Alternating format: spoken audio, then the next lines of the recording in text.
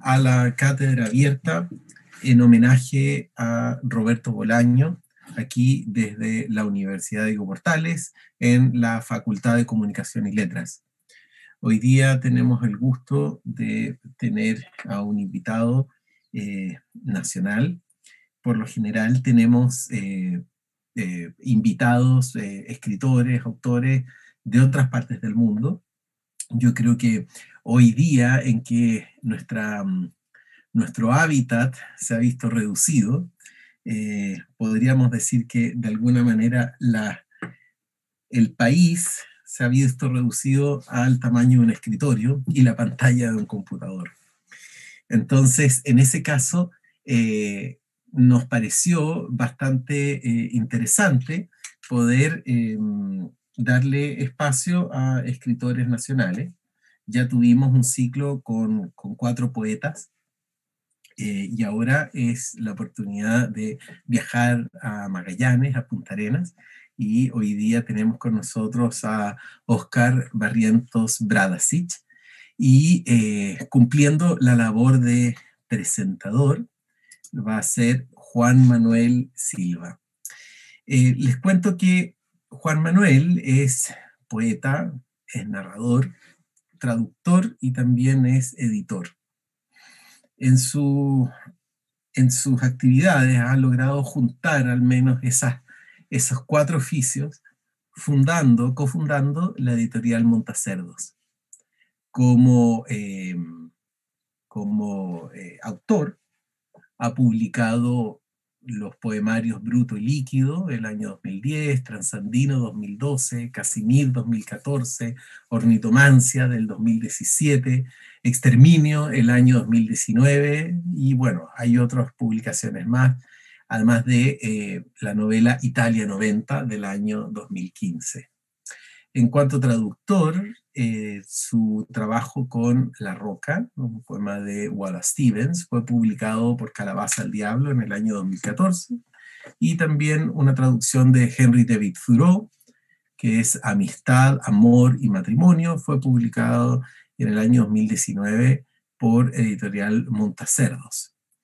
Entonces es ahora la labor de eh, Juan Manuel Silva de presentar a nuestro invitado y entonces le doy la palabra justamente a Juan Manuel, que eh, al parecer tenemos un pequeño problema técnico. Bueno, a veces sucede con los, eh, con los poetas que tienden a evaporarse y otros tienden a tener un peso específico bastante fuerte. En este caso, tenemos una de las habilidades de Juan Manuel, que es eh, un poeta de tamaño físico bastante grande, pero con habilidades de desaparecerse bastante, bastante. Bastante desarrollada. Vamos a esperar un, un poquito. Teletransportación. Sí, vamos a esperar un poquito para, para que venga.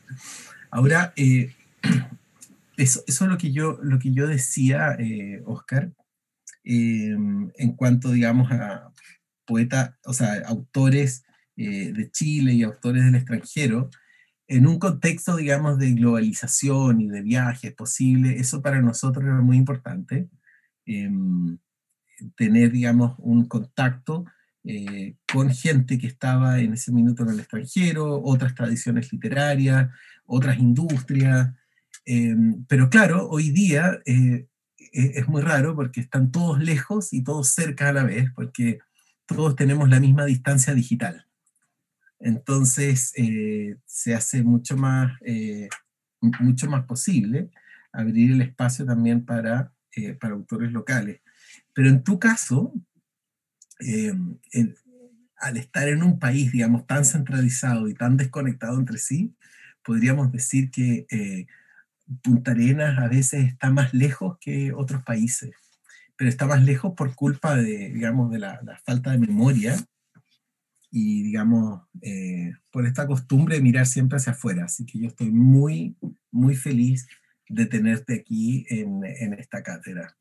Y creo que con nosotros tenemos ya a Juan Manuel, Juan Manuel, ¿estás ahí? ¿Nos escuchas? A ver, Juan Manuel estaba con algunos problemas de conexión a internet, estaba tratando de pasar a traspasar su conexión, al parecer al teléfono, a ver si es que nos eh, a ver si es que nos escuchan. Juan Manuel, ¿nos escuchas ahora?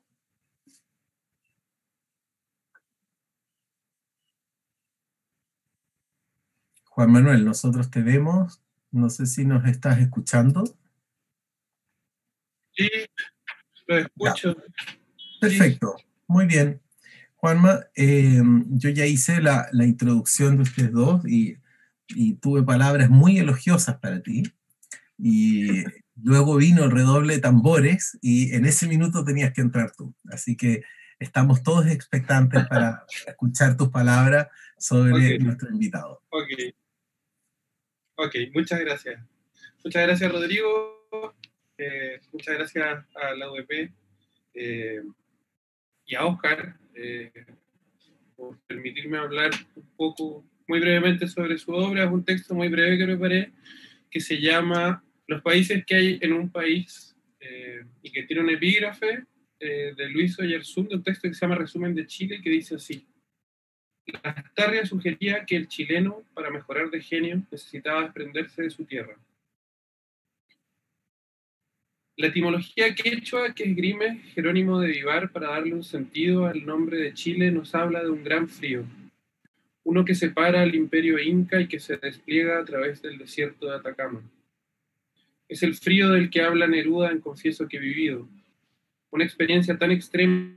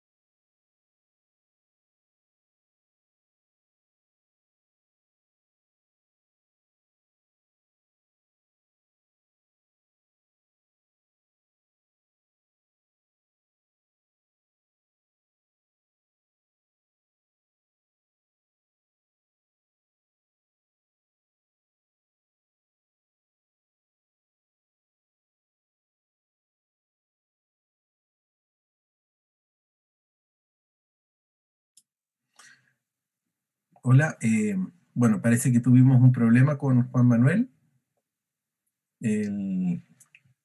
quedó congelado, parece que se cayó su conexión. Así que vamos a tratar de recuperar la, conexión con él, a ver si es que eh, logramos seguir con su presentación.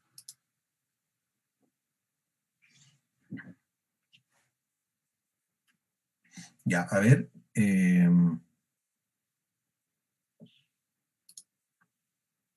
Ya. A ver, espérense un momento. Ahí está volviendo Juan Manuel. Les pido disculpas a todos, pero bueno, esto es parte de las, de las características de este tipo de, eventos. Dependemos de los distintos tipos de conexión según, según el barrio y ciudad. Juan Manuel, si se eh, estuvo se cortó. Juan Manuel, ¿me escuchas? Sí, escucho, sí. Sí, mira, se cortó justo cuando estaba citando el frío de Neruda. Ah, ya. Bueno, esto es un texto que tiene que ver con la literatura de Oscar Barrientos y con eh, un texto de eh, Luis Oyarzún que me parece que piensa muy bien a Chile, porque creo que lo que en el fondo está pensando Oscar en su literatura es eh, esta posibilidad de que haya algo parecido a un país con tantos países adentro. Voy a leer de nuevo eso. Eh, ojalá que no se me caiga de nuevo. Eh, traté de arreglar todo para que no se cayera, así que. ¿Me escuchan, no? Sí. Eh, bueno, la etimología quechua que esgrime Jerónimo de Vivar para darle un sentido al nombre de Chile nos habla de un gran frío. Uno que separa al imperio inca y que se despliega a través del desierto de Atacama. Es el frío del que hablaba Neruda en Confieso que he vivido, una experiencia tan extrema que no podrá encontrar parangón siquiera en Rusia. Pero no es solo de esto que quería, que quería hablarles. eh, quisiera detenerme en estos detalles o accidentes como problemas, en primer lugar, para comprender como unidad la extensa proliferación de paisajes y lenguas que creemos bajo la forma de un país. Problemas y oportunidades para que a través de un sofisticado ingenio que se ha desarrollado en y por la carencia material sea posible creer en una comunicación en una comunidad. Una imagen tan compleja como la nacional no puede ser menos que el punto de encuentro de una multiplicidad de marginalidades. El centro puede estar en cualquier parte porque no hay un centro. El margen es solo una diferencia y la literatura de Arica, Valparaíso y Punta Arenas configuran lo que podría ser este país.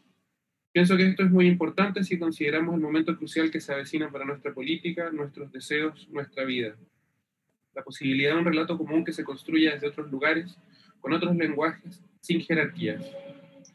De esta posibilidad es la que es de la que me viene a hablar o me viene hablando hace ya un tiempo la literatura de Oscar Barrientos, quien sitúa en el centro de sus preocupaciones la vida de un poeta, un sujeto improductivo y carente de sentido práctico, en Puerto Peregrino, literalmente el último lugar del planeta. Es la voluntad de lo particular, de aquello que pareciese único, pero único en la medida de que una tragedia cósmica se inúmeras ocasiones con leves, aunque significativas diferencias. Esto pues, aunque lo que le ocurre a Aníbal Saratoga y su funambulesca comparsa, a pesar de ser extraordinario y buscar siempre lo sorprendente e inaudito, deja un resabio profundo y realista, más bien amargo como la resaca luego de la alucinación. No es Chile esto que estoy leyendo, pensé la primera vez que leí su narrativa. Y claro que no lo es. No es el espacio simbólico en el que se dan novelas de campus o dramas pequeños burgueses. Es otro Chile, que existe dentro de nuestra reducida comprensión del Chile literario. El país de Saratoga no es un país de oficinistas grises, sino el de tipos titanescos, como define precisamente Luis Oyarzún, y lo cito. El tipo titanesco, bandido, bohemio, demagogo, y a veces las tres cosas juntas, capaz de morder su soledad, sin desintegrarse y de sobrevivir con fuerza vital a la montonera, al bandidaje, al pantano social anímico. El hombre de pelo en pecho que suele ser el roto choro y pata de perro que en cualquier parte trabaja y huelga, o el llanero que concilia la delicadeza sudamericana de Kaiserling con crueldad feroces de ocasión. Estos sujetos que plenan los libros de eh, Oscar, son sujetos arrojados a la vida para transformar y ser transformados, haciendo que los relatos de la provincia sean tan insólitos y tan comunes. Hay en el desarrollo de la narrativa de Barrientos una fascinación por el excurso, por el irse por las ramas que tan bien describe el profesor Andrés Claro sobre el, sobre el cine de Raúl Ruiz en uno de sus ensayos. La experiencia de lo real como la intromisión en una conversación de bar, un desorden formulado con una secreta comprensión de los límites, como una aceptación de lo irrepresentable figurado bajo la imagen de la multitud. Es desde este caos de país desde donde habla Barrientos, con su caterva de monstruos y seres grotescos, una representación que se despliega entre el realismo, la fantasía y lo fantástico, aunque apelando siempre a una causalidad propia de nuestro país, que creo que pilló con mucha, eh, con mucha inteligencia eh, Luis Oyarzún en, estos textos que habla sobre Chile. Creo que esta, condición es el milagro. Eh, me parece que Oscar Barrientos hay una lógica que, que, subyace, que es muy interesante, que es la del milagro y que la define el profesor Oyarzún de esta manera. Más nuestra literatura cito, más nuestra literatura no expresa un nihilismo desesperanzado, sino milagrista, que la negación del valor de lo culturalmente existente agrega una actitud de zozobra esperanzada. Se cree en el milagro, se espera lo extraordinario, una total transfiguración extracultural de la realidad. Creo que esto que plantea Luis Villarzún es central en la literatura de Barrientos eh, y debiese ser más importante en la literatura de Chile. La literatura de Oscar Barrientos es milagrosa tanto en su carácter inusual dentro de la biodiversidad chilena, como, lo mencionaba antes, en, este hábito que subyace a muchas de las acciones irracionales que desarrollan eh, eh, sus personajes. Creo y quería eh, terminar con esto y dejarle la palabra a Oscar, insistiendo en, en esto importante del, milagro, porque creo que va a, recorrer un poco el texto que va a leer Oscar, y si leen la, su literatura me parece que va a estar muy presente. Así que eso, muchas gracias.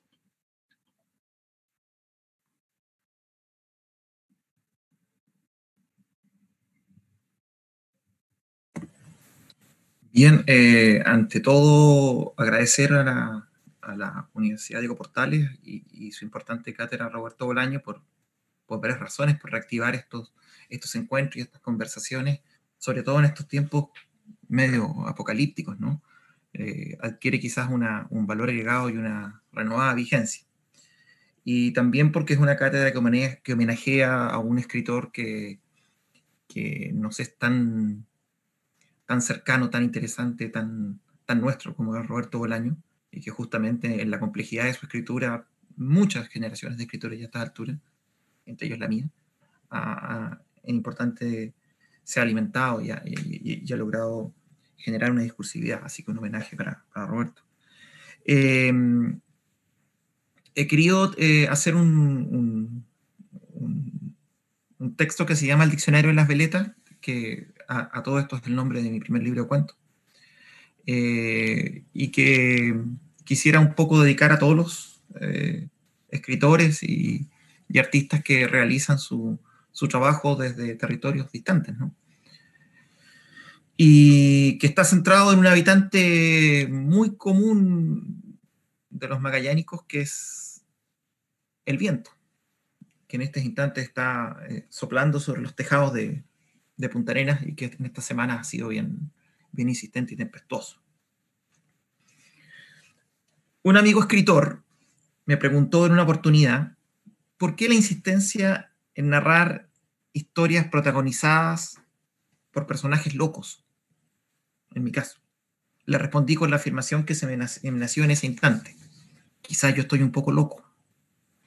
Hice un repaso mental a algunos de mis personajes, ufólogos, poetas enamorados hasta la inmolación, un tipo que usa como velamen un molino de viento, un emprendedor de negocios deliberadamente inútiles, un cónsul de una república que no existe, navegantes desfocados, un médico informático, personas que se creen castores, un doble de Bon Jovi, otros más.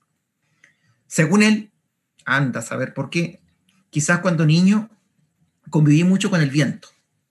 Y tras una hipótesis con más vueltas que un tornillo y una larga reflexión sobre el atavismo, esgrimió una de esas teorías que terminan un poco con los dedos en el enchufe y concluyó que eventualmente eso convertiría a los magallánicos en seres insulares y reconcentrados, alterados por una especie de fuerza telúrica que merodea todo el territorio. De pronto, mi amigo no andaba tan perdido, ya que me vino a la mente una descripción de Gabriela Mistral cuando vivió en Magallanes a comienzos del siglo pasado, como directora del Liceo de Niñas. Dice, yo me gocé y me padecí las praderas patagónicas, en el sosiego mortal de la nieve y en la tragedia inútil de los vientos, y las tengo por una patria doble y contradictoria de dulzura y desolación.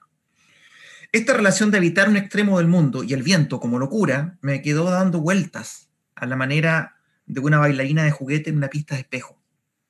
Porque finalmente tengo la sensación que los personajes literarios locos, paradojalmente, no los hacen seres dignos de la conmiseración de sus lectores. Por el contrario, en el afán de moldear la realidad a la altura de sus sueños, a pesar de lo duro y desventurado de esta faena, se tornan paradigmas de idealismo y fe para la condición humana. Punta Arenas fue en el pasado una colonia penal, no un psiquiátrico. Aunque si nos vamos en esas genealogías de Foucault y Deleuze que nominan a cárceles, manicomios y fábricas como la argástula de las pulsiones, podríamos acercarnos a una especie de provocación intelectual. Por ello, resulta pertinente apuntar que en torno a los sangrientos hechos ocurridos en los tiempos del Matín de 1851 en la colonia penal de Magallanes, Vicuña Maquena usa como recurso narrativo para describir los horribles acontecimientos acaecidos elementos propios de un peritaje psiquiátrico. En tierras donde cuesta imponer la plomada de la cordura y donde, según él solo, se envía a la parte ruin de la tropa. Cambiazo, impetuoso cabecilla que protagonizó una rebelión y que aparte de incendiar la iglesia, el hospital y la gobernación, tres símbolos preclaros del poder político, ejecutó a la máxima autoridad, don Benjamín Muñoz Gamero, perdón, y al capellán. También se sabe que, se, que enarbolaba entre las piras que iluminaban la plaza de la ciudad una bandera andrajosa cuya efigie era similar al Jolly Roger de los piratas, una calavera con tibias en cruz y cuya leyenda versaba Conmigo no hay cuartel. Vicuña Maquena clasificó al demonio que prendió fuego al proyecto nacional civilizador del extremo sur en su bestiario de monstruos morales y lo define como una hiena de cementerio, buitre insaciable, tigre ávido de la sangre de sus víctimas, y al primer mando superior confiado a la lejana colonia como un viejo pipiolo dado de baja en Lircay y cuya promoción a Magallanes casi no fue ni una rehabilitación ni un ascenso. Tal era el horror que inspiraban aquellos lugares apenas conocidos y que se suponían, por la imaginación popular, un simple apéndice del polo. Y asimismo dijo que la región actual era un océano petrificado, estéril, insensible, solitario, callado. Es decir, un lugar de salvajismo, locura y monstruosidad, donde naufragaba el sueño de una patria monolítica en su institucionalidad. El tema quizás abre otras aristas, otros derroteros, donde la fabulación de lo monstruoso y lo inconmensurable no termine necesariamente hipotecando la posibilidad de una mirada más redentora. Si bien Roberto Mata insiste en que su realismo es mirar hacia el sur, habitar el extremo quizás tendría algo que ver con la desmesura, con la pérdida del juicio en manos de un viento que desordena eso que llamamos cabales. El escribano y lenguaraz de Hernando de Magallanes, Antonio Pigafetta, que no tuvo conciencia qué significaba la palabra surrealismo, describe a los Oniken como gigantes, a quienes denomina patagones, y nos legó probablemente en su afán de explicar lo que veía a la luz de las conmovisiones de la vieja Europa, una bitácora pletórica de fantasía y atmósferas oníricas. En el medioevo, con el auge del cristianismo y la expansión universal de la palabra de Cristo, fue un severo problema ajustar el precepto del origen común de todos los vivientes a la existencia de los hemisferios boreal y austral. La Iglesia planteaba serias dudas sobre la teoría de las zonas extremas. En ese trance, San Agustín aportó una salida que combinó geografía y aspectos teológicos. Aceptando la felicidad de la Tierra, sostiene que en un continente inalcanzable no existen seres humanos, ya que hasta el confín meridional no llega la descendencia de Adán, ni la buena nueva de la salvación. Se habló de hombres sinocéfalos, con cabeza de perro, cíclopes gigantes, con un solo ojo en el centro de la frente, hipópodos, con pezuñas de caballo, seres con pies gigantescos o labios enormes que les servían de sombrilla, muchos de ellos extraídos de los remotos bestiarios de Plinio el Viejo. En 1605, un pastor calvinista llamado Joseph Hall había escrito Mundus Alter et Idem, otro mundo pero el mismo. Un viaje imaginario a la Antártica protagonizado por un estudiante de Cambridge llamado Veroaldo, a bordo del barco Fantasía, desde aguas europeas hasta la tierra australes incógnita, para buscar un mundo incontaminado de los vicios y necesidades del orbe civilizado. Al llegar a la Antártica da cuenta de un continente grotesco y pantagruélico, poblado por obesos, borrachos y excéntricos. Allí recorre países imaginarios como Panfagonia, muchos de ellos con topónimos que se vinculan al alcohol, la lujuria, la necedad y la glotonería, tales como Golosinio, Lupulania, Crapulia o las Islas Fatuas. Repúblicas donde las bajezas y debilidades humanas están amplificadas hasta lo carnavalesco. Toponimia imaginaria del desenfreno, muy lejos de los topónimos catastróficos que dejaron las incursiones reales por la geografía del fin del mundo como Puerto de Hambre, Isla de Desolación, Golfo de Penas, Última Esperanza, Piedra del Finado Juan, Estancia de Gringos Duros, Río Calavera, Bahía de la Desesperación, Bahía de la Separación de los Amigos, Río Penitente, Paso Tortuoso, Isla de los Muertos. Quizás habitar el extremo sur estuvo siempre marcado por esa idea pantagruélica de la realidad. En el siglo XVIII, Restif de la Bretón, contemporáneo y amigo del Marqués de Sade, oscuro tipógrafo y, y polígrafo fecundísimo, que cultivó la novela autobiográfica, la tesis filosófica, el ensayo libertino, y siguiendo la moda de su tiempo, abordó temas referentes a la moral de las costumbres, publicó El Dédalo francés, extraña novela, donde relata la historia del hijo de un predicador fiscal llamado Victorino, que se le prohíbe por cuestiones de clase unirse en matrimonio con su enamorada Christine.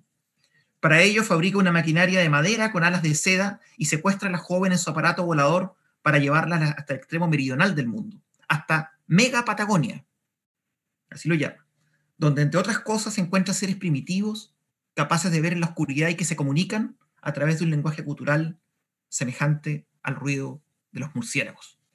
Uno que efectivamente sobrevoló estos lugares es Antoine de Saint-Exupéry. Describió los volcanes de Paliaique como colosos de piedra mientras realizaba labores en el llamado Correo del Sur, ruta que unía Buenos Aires con la Patagonia. Sin embargo, tiene una visión hermosa y redentora donde la realidad del paisaje desplaza esos viejos miedos de otras épocas, en torno a estos espacios asignados por la lontananza. Es hermoso imaginarlo en su arrumbroso y traqueteado avión, abriéndose paso entre las nubes y citar su descripción de la ciudad que habito. Dice así, y aquí la ciudad más austral del mundo, permitida por el azar de un poco de lodo entre lavas y nieves, tan cerca de los negros chorros, cómo se siente el milagro del hombre, qué extraño encuentro, cómo se sabe cómo, no se sabe por qué, el pasajero visita estos jardines preparados, habitables por tan corto tiempo, una época geológica, un día bendito entre los días, he aterrizado en la dulzura del día. Punta Arenas. Julio Verne, que como sabemos salió muy poco de Francia, publica en 1886 una novela titulada Robur el Conquistador, en la cual un excéntrico inventor estadounidense surca los cielos del mundo en un gigantesco navío cuyos mástiles son hélices, a la manera de un colosal helicóptero llamado Albatros, en honor al soberbio pájaro capaz de cruzar grandes distancias. Uno de los lugares que visitan es Punta Arenas, y desde las alturas aquellos viajeros escuchan los carillones de la catedral. Todavía, en tardes de nostalgia feroz, cuando la tarde se extiende más allá de sí misma y extraño lo que pudo haber sido.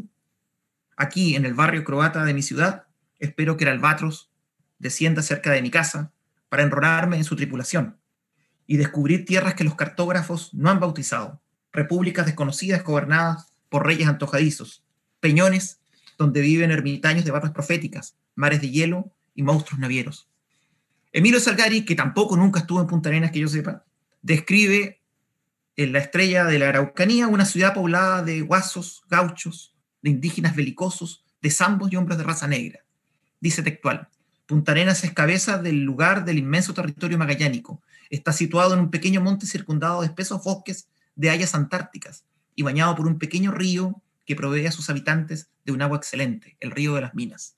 Es un pueblecito construido de madera, con casas de lindo aspecto que dan a aquel pequeño centro un tono gracioso y coquetón, con una iglesia de alto campanario, también de madera, y un fortín armado con algunos cañones de pequeño calibre que más de una vez han tenido que hacer fuego contra la banda de Patagones. Me gusta saber que mi ciudad, al igual que muchas otras ciudades portuarias, se construyen en virtud de retazos, pinceladas y arquitecturas que provienen de variadas latitudes. En el caso de Punta Arenas gravita muy fuertemente, como en mí, los influjos de la isla grande de Chiloé y de la isla de Brach, en Croacia, como si un pedazo de Europa central y el Mediterráneo fuese arrebatado violentamente por las manos de un dios pagano e insertado en el vacío que deja el hundimiento de la cordillera al extremo sur, aderezado con ajos y rabeles, con marejadas e insectos. Todo lo isleño genera un complicado amasijo de aciertos y contrariedades, un arraigo y un deseo de huida trenzados en la misma tolvanera, ya que Ícaro, cuando huye, se lleva consigo el laberinto. Quiero creer que algo de eso me habita.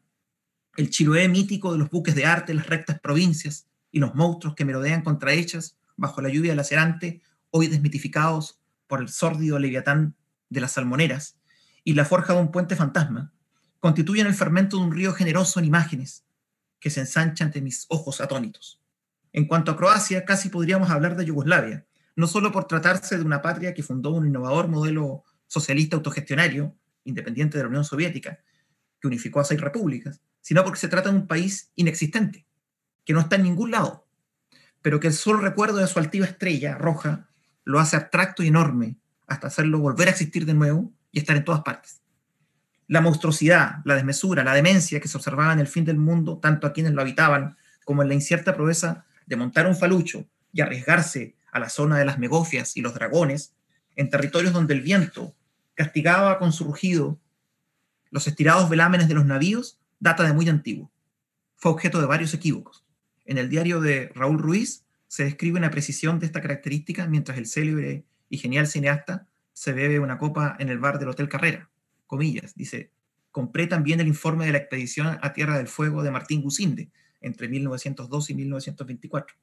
Una de las primeras indagaciones serias después de Darwin, si se puede llamar serias las observaciones de aquel joven botánico racista y mala persona. Hace media hora que estoy en el bar. Cierra comillas. Este espacio tan imaginado como semantizado y siempre reconstruido al momento de la colisión con lo real es mi laboratorio escritural.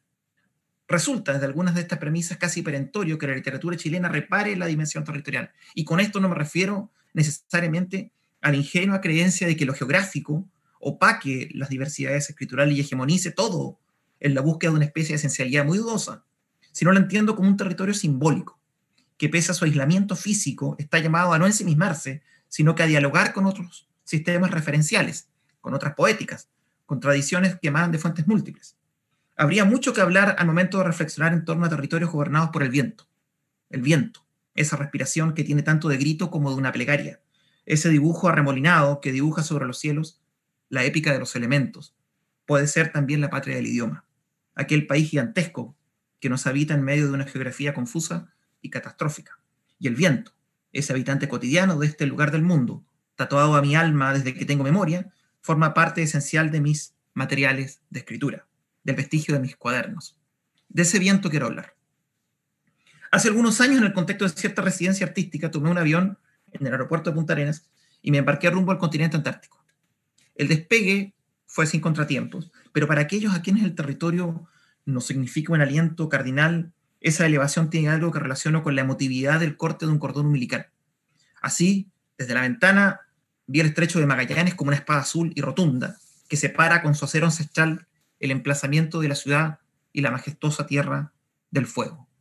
Y luego, ante mis ojos asombrados, el escudo nobiliario de los hielos, desplazándose sobre las aguas duras, envueltas en una luz tenue, pero a la vez violenta. Descendimos a la isla Rey Jorge, la mayor de las Shetland del Sur, y avanzamos con un puñado de tripulantes hasta la base Frey, donde nos correspondía esperar pacientemente que unos botes con motor fuera de borda nos llevaran al barco fondeado a la gira. La lamentada base chilena queda al lado de la base rusa, que rinde honor con su nombre al almirante Gorfen von Bellinghausen, navegante a las órdenes del zar Alejandro I y que se considera co-descubridor de la Antártica junto al norteamericano Palmer y al británico Edward Brenfield. Tiendo a creer que todo viaje posee un momento epifánico, aquel enigmático fragmento que encubre una revelación, un encriptado obsequio de los dioses, que usamos como amuleto en nuestra travesía. El mío estaba por ocurrir. Alcé la vista hacia mi izquierda, elevando el mentón por sobre el escarpado y yermo promontorio al que habían habilitado con una agreste escalera, cuyos rústicos peldaños no invitaban para nada a la incierta proeza de ascender.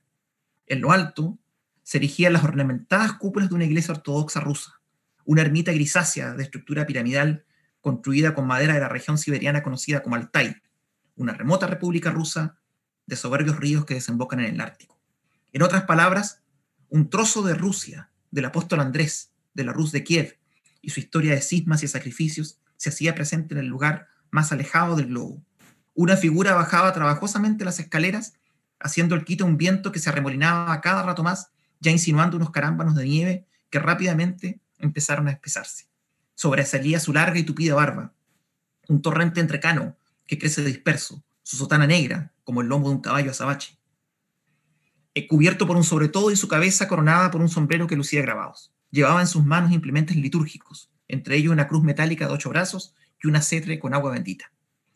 Ya me encontraba casi frente al sacerdote ortodoxo, que continuaba su andar totalmente indiferente a mi desconcierto. El viento helado que llegaba a calar los huesos atravesó la meseta como si el mundo acabara de inaugurarse.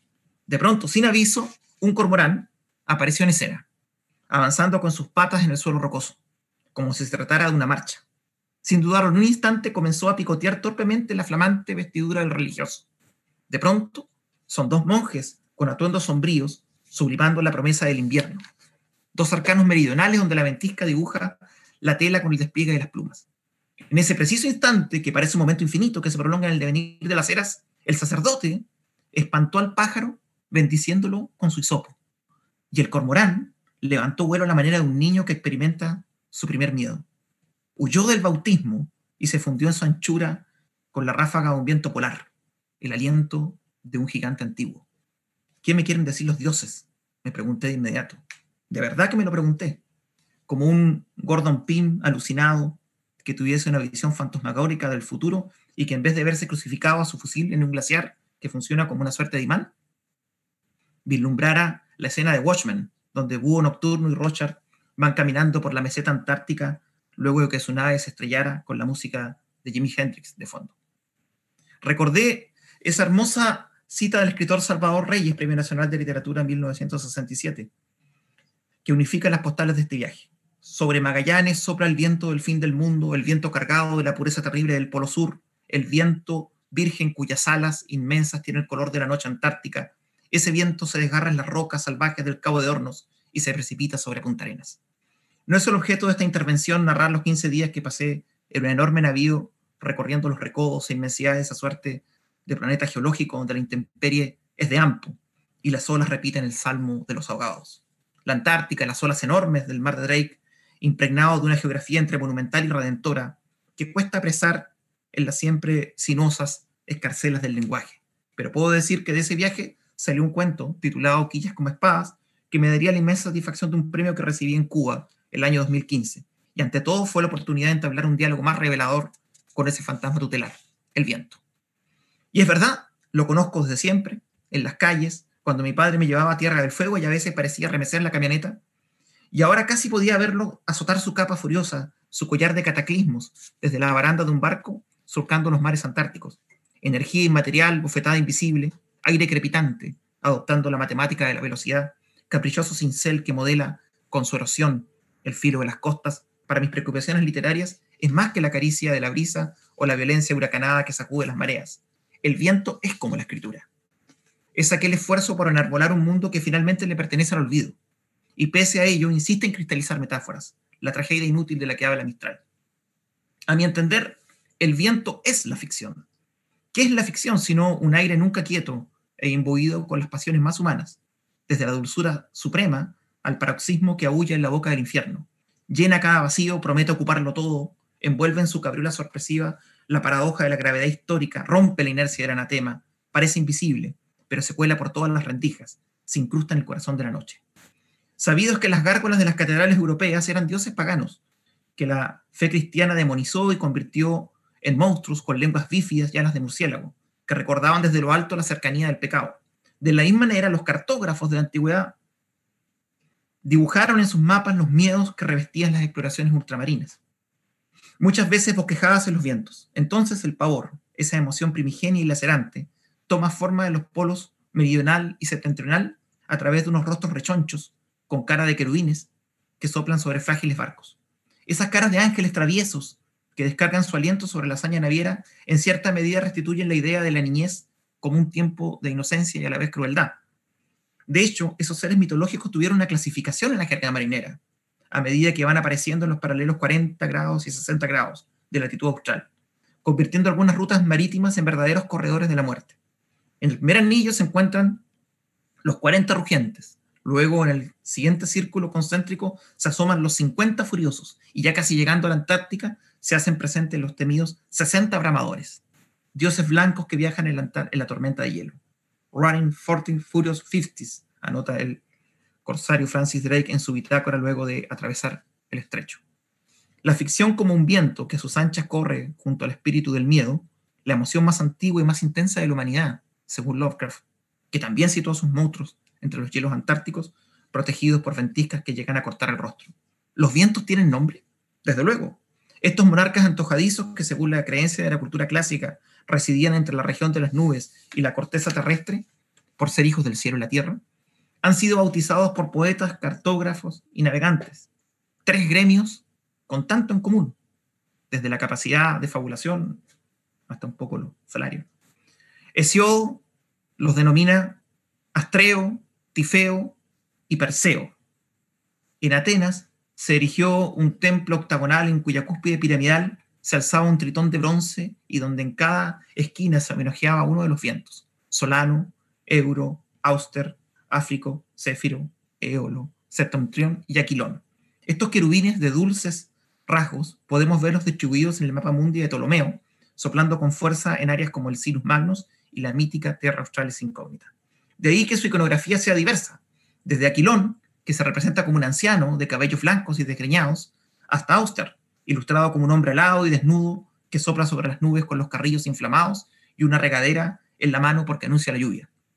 Los nórdicos distinguen a Njord, el sobreviviente del Ragnarok, el dios de los vientos amables que protege los corazones puros en alta mar, y los eslavos, Dogoda, la hermosa mujer que controla las brisas que vienen del oeste, antípoda del temido Bardalac, balcánico o viento negro.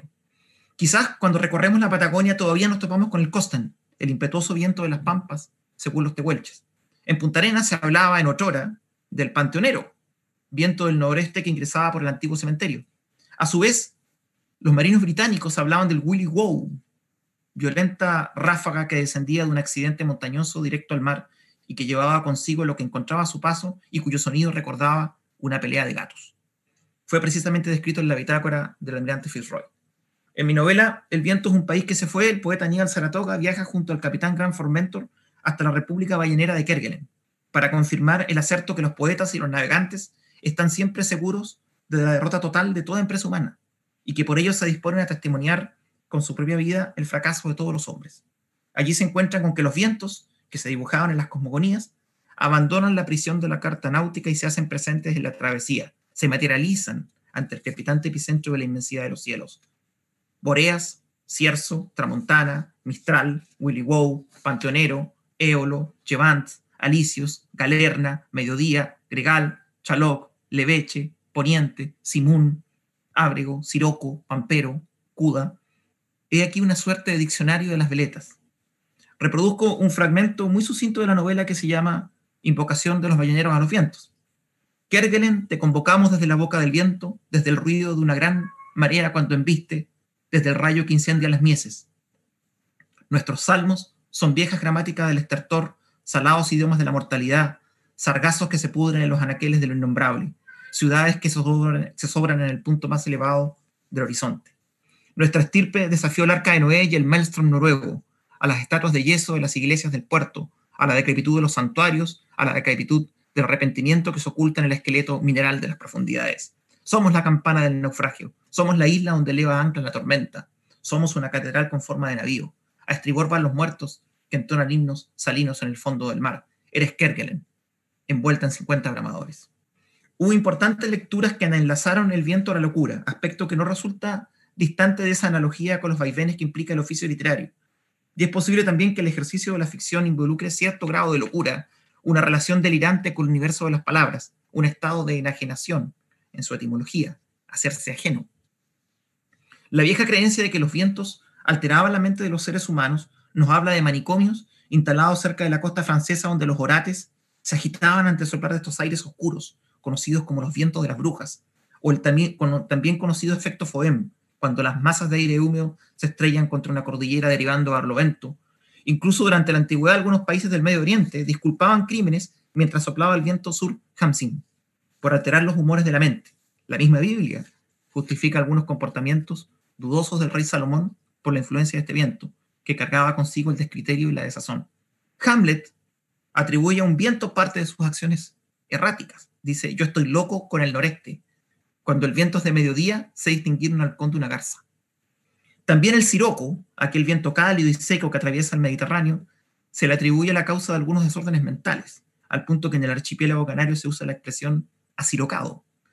La rosa de los vientos, ese hermoso símbolo que se atribuye al mallorquín Raimundo Lulio, fascinante personaje, que es a la vez beato por culto inmemorial y heresiarca, se ilustra la circunferencia del horizonte y 32 rombos unidos por un extremo, sugiere una, una vorágine de rutas y humores. Eso es quizás la literatura, una fuerza arrasadora capaz de traducir lo más sublime y lo más abyecto del alma humana, tan pronto abriendo remolinos en el océano encrespado o removiendo las copas de los árboles nevados, un rugido estremecedor capaz de quitar el aliento de los hombres y las bestias, o de llevarse como inútil ofrenda las ropas del cordel para vestir muñecos de aire, pero también proclive a insuflar el rotar de las aspas que giran interminablemente para ofrendar energía donde solo habita la penumbra. Es posible que esa necesidad de forjar historias, de recoger tradiciones que vienen de lejanas latitudes o en su efecto, construir ficciones que finalmente revelan el abismo entre la realidad y los sueños, se parezca un poco al viento, que tras viajar océanos y montañas, impregnarse de las historias de las ciudades, llega hasta la veleta para hacerse presente con su dinamismo arrollador, con su incesante sentido del movimiento y el viaje para descifrar su diccionario. La veleta, aquel entrañable instrumento que se emplaza de las alturas y que el Papa Gregorio I exigió ornamentar con un gallo para simbolizar la vigilancia clerical en honor al animal que cantó luego que Pedro negara tres veces a Jesús. forma parte de esta alegoría. El viento, vorágine suprema de la ficción, hará que la veleta gire sin descanso, restableciendo el viejo oficio de los soñadores trágicos. Su fuerza y velocidad comparten con el apetito de la ficción la capacidad de unificar tradiciones que emergen de diversos escenarios del globo. Y su paso por cada lugar recoge algo de esa dialectalidad que reverbera en el corazón de las palabras. Veleta y viento son dos almas dialogando por siempre en el erial del idioma. La misma sensación que experimenté en la Antártica cuando el cormorán huyó de la bendición sacerdotal para sumarse al rugido de la tormenta blanca, ese gigantesco caracol de las mareas australes. Por ello, en Puerto Peregrino, la ciudad tan imaginaria como profundamente real de mis narraciones, ostenta en su plaza una estatua ecuestre con un jinete que lleva en su mano una lanza, cuyo extremo termina en una veleta. En la descripción, a los pies del monumento puede leerse, quien arribe a Puerto Peregrino conocerá el diccionario de las veletas. ¿Quién sabe? Puede que mi amigo haya tenido algo de razón, y la condición de habitante meridional, su permanente transcurrir entre la fuerza de los elementos que desgaja su urdimbre de sal y espuma entre los dos océanos más grandes del globo, nos convierte en seres algo cervantinos, empeñados en mover las, las aspas de un espíritu redento y construir nuestras visiones desde el lugar más remoto. El viento que sopla en el lugar donde la cordillera vuelve a emerger desde las profundidades submarinas, esa pujanza similar a la ficción, tan variable como irreductible, me hace pensar que la experiencia icárica de habitar estos lugares, y creo que si bien toda escritura está destinada a desarrollar una relación conflictiva con el lugar originario, tiene un valor permanecer allí y buscar un espacio en el mundo. Junto con la ficción soplan también los vientos de la historia, como ocurrió en aquella primavera fundacional de Chile, que muchos denominaron estallido social. O quizás fue en el corazón de un planeta, cuyos ríos arteriales y resoplar telúrico laten decididos e indiferentes a la música de las esferas celestiales, al movimiento de las constelaciones. Tal vez como capas subterráneas que se mueven pesadamente en las entrañas del territorio, los tiempos se entrecruzan y traslapan el destino de una historia que se proyecta en espiral, es decir, hacia adelante pero coincidiendo en circularidades pasadas, Muchos deseamos recuperar un país que se nos arrebató hace más de 40 años y que ningún maquillaje ha sido capaz de mermar en su obscena precariedad, en su indignante desigualdad, en su incomprensible centralismo instaurador de una incomunicación por momentos gratuita. Quizás la literatura está allí como un soplo que despeina la solemnidad de las efemérides, como un comensal preguntón y crítico en el salón de las certezas. De esa urdimbre construyo mi literatura, mis paganas Patagonias, mis aventuras de Aníbal Saratoga. Alguna vez el escritor Francisco Coloane narró frente a la cofradía de navegantes de Saint-Malo, en Francia, la historia de un barco procedente desde Europa que enfrentó los más virulentos vendavales en el estrecho de Magallanes. Finalmente, sucumbiendo al poderío de la tempestad, al rugir de los 50 bramadores, lo curioso del naufragio fue el cargamento del navío, pianos de cola. Iban cayendo con sus pesadas resonancias en el lecho del mar en una escena que podría ser un relato de Juan Emar o una película de Mirko Turica.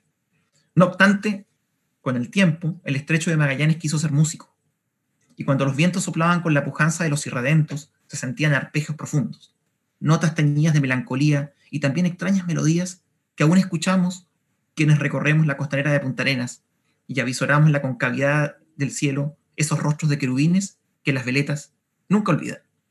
Por eso, Acerca tu oído a la bofetada del aire y escucha los músicos, la música que los vientos han preparado para ti. Esa es la canción. Gracias, muchas gracias.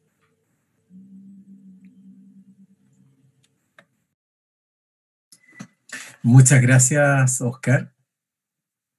Yo sentí, sentí el ulular en tu texto del viento. Y, me, nos recordaste bastantes nombres de los vientos.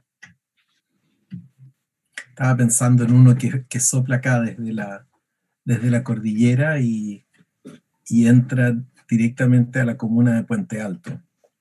Hemos tenido bastantes alumnos que eh, han hablado de eso, escriben mucho de ese viento. Así que quizás hay mucho de verdad eso de que el viento altera la altera el estado mental de la gente, como el Hansim. Muchas gracias. Bueno, eh, Juan Manuel, quizás tú quieras iniciar con, la, con la primera pregunta. Yo tengo una pregunta que, que tiene que ver un poco con, con esto que me llamó tanto la atención que, que advertía Luis Oyarzún, lo, lo, milagroso, pero no, no en términos estéticos, sino una cuestión que anuda la literatura desde otro punto. Que, y te voy a preguntar, porque hacer una pregunta que tiene que ver con tu literatura, pero que lo abro un poco. Quería preguntar por el, el colectivo que tienen una serie de escritores de provincia, del que formas parte, Los Pueblos Abandonados, creo que se llama. Sí, eh, bueno, súper eh, amplio, pero voy a tratar de como de...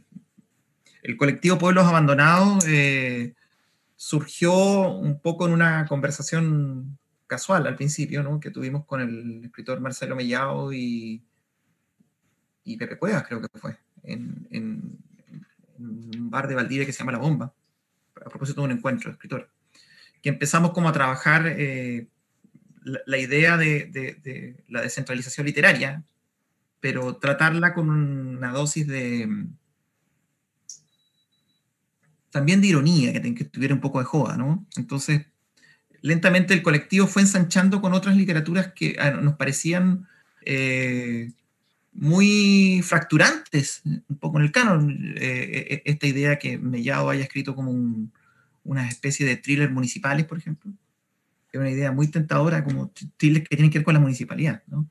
Eh, que Christian Geise, por ejemplo, de, de, la zona de, de La Serena, eh, él trabajase desde Vicuña ese tipo de literatura donde el diablo está semantizado como una especie de ser espirituoso que radica en el alcohol, ¿no? los cuentos sobre el demonio, y por supuesto su excelente novela Ricardo Nixon School. Eh, Cristóbal Gaete, que escribió un libro, a mi juicio, muy interesante que se llama Valpore, y eh, Cristian Vila con la crónica del niño lobo, y después eh, también estaba muy presente para nosotros la poesía de, de Rosabetti Muñoz, escrita desde, desde Chiloé.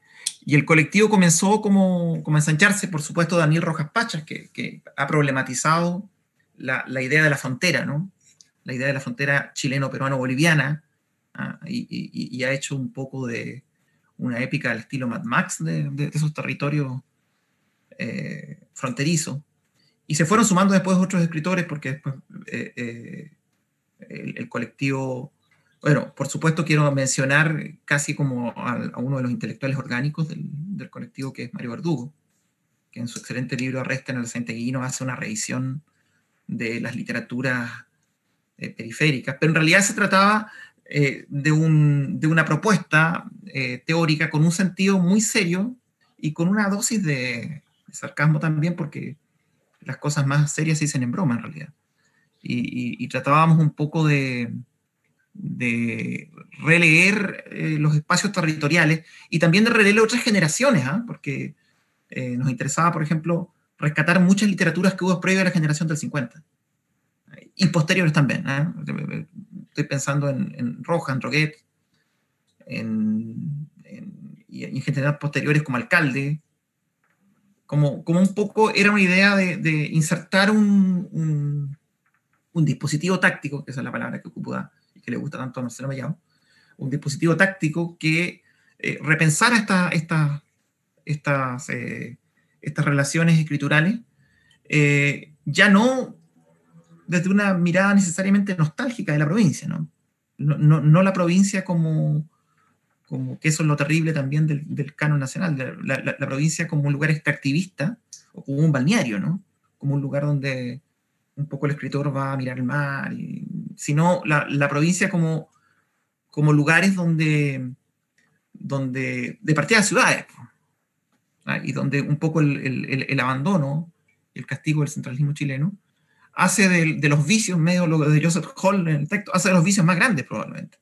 Uno ve escasas regulaciones, uno ve que, que se vuelve algo, algo terrible si, si, revisamos un poco el aparato productivo chileno. Pero además también era como parodiar estos programas estilo, no sé si nombrarlos público, pero esos programas como pintoresquistas que dan los sábados, los domingos, donde muestran que lo, lo, único que hay en provincia son tragos, artesanías o, o, comida, ¿no? Entonces, como que eh, se, alberga la, la, ingenua idea que en, y, una idea que es un poco reaccionaria, que, que en el centro metropolitano vive un sujeto globalizado, eh, estresado, y en las ciudades viven seres humanos en estado casi natural, o sea, como que hay gente que le molesta ir acá y no ver balleneros en las calles, ¿no? Como que eh, se estanca el tiempo, ¿no? Un poco así. Entonces, como que nos daba la sensación que esa pluralidad y esa complejidad había que releerla desde la literatura. Y no se podía leer en un formato solemne, sino tenía que leerse en un formato eh, más paródico y naturalmente, sin extenderme más, también tiene todos esos elementos extemporáneos, ¿no? Que existen unas como escuelas de vanguardia, como un elemento extemporáneo, o sea, que se juntan escritores como de provincia a apelar, en el fondo, ya eh, tiene un elemento de ese estilo. Eso, en ese grande, eh, sacamos un manifiesto en The Clinic y en letras S5, y había por ahí la idea de una antología que finalmente no, no resultó. Alcanzamos a hacer tres encuentros de pueblos abandonados. Uno se hizo en el primero se hizo en Yoyeo, el segundo se hizo, y el segundo se hizo en Valparaíso, en la Universidad de Playa Ancha. Ahí fueron los dos encuentros de pueblos abandonados. Y yo creo que el colectivo va a sobrevivir y vamos a seguir haciendo otras acciones de arte, por llamarlo de alguna manera. Acciones de arte. Eso es más o menos grande rasgo lo que es el colectivo Pueblo Abandonado. Mm. Em, Oscar, muchas gracias. Eh, no sé, ¿quieres agregar algo más, Juan Manuel? No, eh, en realidad era como una nota al pie, como que mencionó a tanta gente de tantas partes, como, como que hay un mapeo de toda la literatura que se está haciendo en provincia. ¿Tú crees que es una pega que está por hacerse? Es una pega que, que, que, está por hacerse y que yo creo que, es necesaria para, para, también, sobre todo en este tiempo ¿ah? y en este mes, eh, como repensar también la, la, idea de lo nacional, repensar la idea de país. El, país debemos pensarlo desde sus, desde sus singularidades, que también era, era un, tampoco era una pataleta contra Santiago como, como una especie de, porque Santiago también vive incomunicaciones al interior, hay provincias dentro de Santiago, digamos. Eh, sino simplemente era una, una, manera de acercarse a la, a la, diversidad escritural del país. Y eso es una pega que está, que está pendiente y que estamos medio trabajando en esa idea, desde nuestras respectivas trincheras. Pero no sé si estarás de acuerdo conmigo, Oscar. Em, hay una diferencia hay una diferencia entre lo, que entendemos como la escritura de un autor de provincias eh, y la escritura de, em, de un escritor que se enfrenta a un territorio extremo.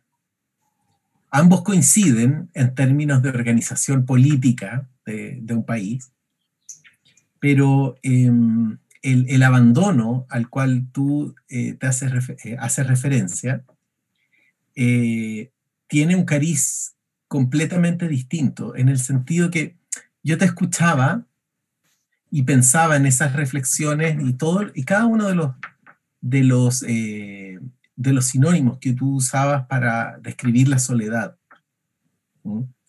Y pensaba en la soledad como un tema de, la literatura que traspasa, digamos, eh, traspasa géneros, épocas, etc. Pero cuando la soledad se junta con eh, un territorio que, es tan potente, inevitablemente esa soledad eh, deja de ser solamente existencial y pasa a tener un ribete épico, independiente de lo que, de, cuál sea el plan, el plan literario de quien está escribiendo. solamente al percibir el, tamaño del entorno en relación al, ser humano, cosa que no sucede tanto en, la ciudad, porque el paisaje de la ciudad es una acumulación de, gente, eh, naturalmente se transforma en algo, eh, en algo, en algo épico. El, solo hecho de existir deja de ser, digamos, una circunstancia y pasa a ser como una, una gesta. Entonces, eh, yo no sé si, si, estás de acuerdo con eso, en ese sentido que yo me imagino este, estos encuentros de, de, pueblos abandonados que con el tiempo debieran medir y comparar su abandono. Y ahí habría otra posibilidad de desentenderse. Y aprovecho antes de terminar este, este comentario, mandar un saludo a la, a la gente de la Universidad Nacional del Comahue, ahí Río Negro, Neuquén, en Argentina, muy, muy activos participando en esta, en esta conferencia. Un abrazo para todos ustedes. No, yo, yo creo que para un poco para ir cerrando ya y, reflexionar en torno a lo que planteó Rodrigo, eh, el, otro día bromeaba con un, poeta, naturalmente, por, internet, y él me decía que, bueno, un poeta que escribe en regiones es un poeta regional, pero si se cambia a vivir en Santiago para ser poeta nacional. O sea, su cambio dura, dura poco, dura un, par de horas. Pero yo creo que el, el, tema, por ejemplo, eh, volviendo a lo, que dice Rodrigo, eh, si uno reflexiona en la generación del... Y, tengo súper fresco este tema porque me tocó dar una, ponencia sobre la generación del 38. La generación del 38 eh, chilena, el caso de Coloane, pero podría nombrar otros también, y, antes o después, ¿no? Juan Marín, por ejemplo, que tiene una novela bellísima. Eh, ¿quién podía semantizar lo que ocurría en un, en un faro, en un villorrio o en una caleta de pescadores? O sea, cómo esa, esa existencia que transcurría, como la, el cuento la, la, gallina de los huevos de luz, que existían personas, personas que cuidaban faros, que, que se volvían medio locos arriba de los faros, ¿no? Eh, ¿Quién podía dar cuenta de eso? Insertar ese imaginario en, en, en, en los lectores, ¿no? Eh, entonces es un aporte, ¿verdad? Dar cuenta de territorios que, donde el ojo del testigo finalmente no llega, ¿no? Donde, se, da cuenta de una, de una, de una mirada que, que es más fracturadora del, del, de lo estrictamente citadino. Ahora no, no, no sé, yo pienso que, que un poco también la, la idea del, del, colectivo y la idea de este tipo de escrituras eran también describir, describir paisajes sociales también. No solamente describir eh, el paisaje como, como algo que, que, te sobrecoge. Yo comencé hablando del, del, viaje a la Antártica, porque la Antártica me, daba la sensación de un espacio que cuesta, eh, que cuesta describir incluso, porque es, un, es un, como lo más parecido estar en un planeta, en otro planeta, ¿no? es un pasaje muy extraño para, para la descripción, parecido quizás probablemente al, otro extremo, al Ártico, que no ha ido, pero probablemente no, no es, es raro definir. Entonces, como eh, a mí en lo personal, desde mi escritura, me, gusta ese viaje fracturante entre la, la especulación de la realidad, la literatura fantástica que se genera en, semantizar esos espacios y después confrontarlo con la propia realidad. Y ahí vienen estos, estos, como estos espíritus que hablaba el arcipreste de Ita, ¿no? Eh, don Carnaval y Doña Cuaresma, ¿no? Como dos, dos espíritus, uno serio, solemne y otro pantagruélico, grotesco, que están como permanentemente en comunicación. Y, a mí me interesaba tratar el paisaje así, porque, eh, ojo, también creo que, que, los, los propios territorios, yo, ocupo la palabra territorio, porque la, palabra regional nunca me ha gustado mucho, eh, porque incluso tiene un sesgo hasta, hasta medio bélico, ¿no? la palabra región, la, regionalización o hablar de región militar, me, suena hasta una, cosa media bélica, sino los territorios, como, como espacios eh, eh, donde verdad se puede construir una, una, una discursividad que, que, fragmente ¿verdad? el paradigma de un país que es, que es centralista, ¿no? Que, que, que pueda aportar un poco un mosaico de subjetividad. esa ha sido yo creo que la intentona de, de, varios de nosotros, escritores magallánicos y escritores también de, de, otras zonas diferente del, del, norte, del, Maule, de los, de los, valles de Elqui, etcétera, a quienes, por cierto, les mando un saludo gigantesco. Eso. Sí. Eh,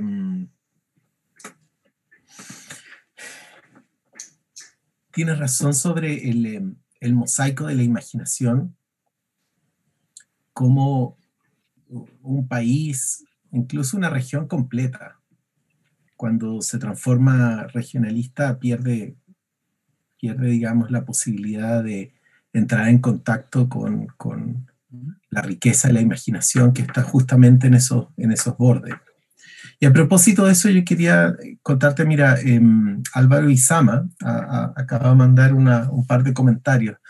Y él se pregunta cómo, cómo es que se arma una biblioteca en, en ese tipo de, de, territorios, digamos. ¿Quién, cómo, ¿Cómo se arma esa, lista de libros? Eh, si acaso hay que inventar nuevas jerarquías que estén de acuerdo con, con, la vivencia del lugar o si eso acaso es una responsabilidad del mismo lector, que termina mezclando géneros. Eh, ¿Cuál es tu, experiencia? ¿Qué es lo que significa leer desde esa, desde esa situación? Bueno, es súper interesante la, pregunta de, ahí de Álvaro. Eh, a propósito, además que tengo los libros al, revés, ¿no? habla, habla un poco de eso.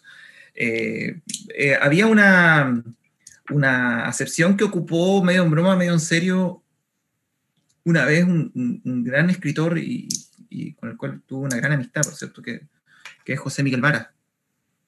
Y que e, él, él habla de, reflexionando sobre, sobre estos temas, dice, eh, una, si hay literaturas nórdicas, tienen que haber literaturas súrdicas. Tiene que haber eh, literaturas que reflexionen sobre, sobre los polos, ¿no? O construidas desde los polos, porque pueden los polos haber coincidencias.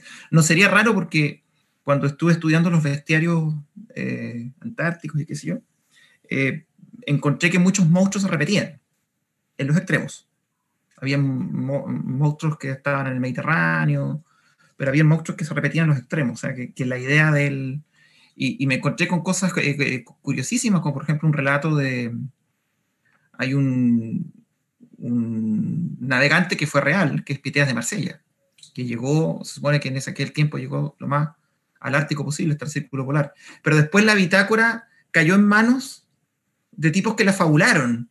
Entonces no se sabe hasta qué punto lo escribió Piteas, hasta qué punto está fabulado, porque dice cosas que me encantaban. Decía, por ejemplo, que la luna estaba tan cerca de ellos en la, zona boreal que ellos tomaban unas catapultas y se, tiraban a la luna y permanecían un rato en la luna, después hacían la misma catapulta y volvían al barco. Entonces, como este nivel, digamos, de, especulación tiene mucho que ver con, con, lo que dice Álvaro, porque en realidad una biblioteca de títulos, comencemos con el discurso de, de Gabriel García Márquez, cuando recibe el Nobel, comienza hablando de Pigafetta, que ese es el primer texto como de, de literatura fantástica o de realismo mágico, probablemente la Octavio Pigafetta, porque es un hombre del Renacimiento que llega hasta acá, ah, de cual después todo esto se sabe muy poco, después que, vuelven a, Europa, se sabe muy poco, desaparece, ¿no? se sabe un poco de, su vida, y que ocupa los, para describir la geografía y para describir los animales que veía, y para describir la situación, porque esos barcos deben haber sido desde el idioma, imaginemos, verdaderas torres de Babel. Mm. Eh, ocupa bestiarios del, medievales y renacentistas para explicar lo que está viendo. ¿ah? E, echa, mano de su propia cosmovisión. Y yo creo que, una zona tan cosmopolita como, Magallanes obliga necesariamente a, leer todo en, un enclave eh, Mario Pinto, finalmente. Eh, a, mí, a, mí, me encanta saber, por ejemplo, que esta analogía a Patagones que, es como Picafetta de la mina de los Aoniken, eh, viene de eh, un gigante que también aparece nombrado en el Quijote. Uno de los gigantes que en el delirio del Quijote está el gigante Patagón. Entonces me gusta saber que hay un nexo incluso cervantino con, a propósito del viento, ¿no? Con, con, con nosotros, ¿no? O que o, incluso eh, esta experiencia, en la, no, sé si le echaron una mirada a, un libro muy antiguo de, entrevistas que hace Floridor Pérez a, a Coloane, que salió creo que en Zigzag, un libro rojito que circulaba en los colegios en aquel tiempo, pero que es muy valioso para entender algunas cosas, donde Coloane dice que lo primero que, lee estando en Magallanes es los dos abordajes de, de Milo Salgari, que ve una, habla de una pelea, de una especie de, en el estrecho de Magallanes y él vivía al lado del Estrecho Magallanes. Entonces dice, voy a mirar el Estrecho Magallanes bueno, no, era tanto, ¿no? No imagino una, pelea, no me la imagino así. Eh, entonces, como esta zona, que la, Mistral denominaba como el trópico frío, o sea, que lo encontraba como una zona casi exótica, eh, genera una biblioteca en el punto en que eh, se imaginó antes de visitarse la Tierra Austral es incógnita se imaginó primero. La mayoría de los viajes ultramarinos fueron soñados o imaginados o dibujados antes que eh, efectuados, como el libro ese que cité de, Joseph Hall, donde imagina que aquí está lleno de, borrachos, de excéntricos, que, la bajeza humana llega también hasta el extremo, no, no, no, el hombre humano, el ser humano es malo. Entonces yo creo que eh, la biblioteca es como un ejercicio necesario en estos lugares eh, tentado tanto no solo por el paisaje, sino tentado por el paisaje que nos activa el entorno, a los que vivimos acá. Eso se me ocurría decirle a Álvaro. Saludos, Álvaro. Perfecto. Em, gracias por, eh, por volver al punto de Pigafetta, que es quizás eh, que es quizás, digamos, el, culpable de, plantar una bandera que es tan ficción como realidad en el inicio, digamos, del, relato que hace Occidente sobre esa, sobre esa región. Recordaba mientras tú mencionabas el vínculo cervantino, yo recordaba el vínculo con Shakespeare, como Cétebos que es la, digamos, la, palabra que él asume, digamos, que escucha, que, en fondo que vendría a ser el dios de la Onikenk según Pigafetta, termina siendo el dios de Sícorax en la tempestad de Shakespeare también. De Shakespeare, claro. Sí. Y después, claro, y después esas palabras que salen de la, de la fábula e ingresan a la ciencia. Eso es muy lindo. El, el, pulpo austral, el pulpo de, de la Antártica, que al parecer es el, es el, ancestro más antiguo de todos los pulpos de la Tierra, eh, también fue nombrado Cétebos, justamente por, por, por, ser ese, ese, vínculo ancestral. Entonces, hay, eh, hay un ciclo que se da como en ese, en ese borde territorial, donde la imaginación nutre al, al, al conocimiento y el conocimiento a su vez también busca fundirse de nuevo con esa imaginación. Entonces quizás, digamos, esa, esa, esa, eh, esa, esa, es la, esa es quizás una de las primeras fronteras que habría que desembarazarse de neurosis, de tratar de trazarla. bueno, yo quería, yo quería agradecer eh, no solamente a, Juan Manuel, que tuvo ahí la, la, la gentileza y lucidez de, de presentar a Oscar y de, y de situarlo, de situar también su escritura. También quiero agradecer a, a Oscar por su, su generosidad, eh, por abrirnos al, al, mundo de la, de la, veleta de los vientos otra vez más. Eh, eh, efectivamente dan ganas de volver a tus libros, Oscar, así que eso, eso no puede ser una mala señal. Y, eh, pero también quería agradecer a la gente que nos está siguiendo. Acá eh, has convocado a, un, grupo eh, de, entusiastas y eso es, siempre buenas noticias.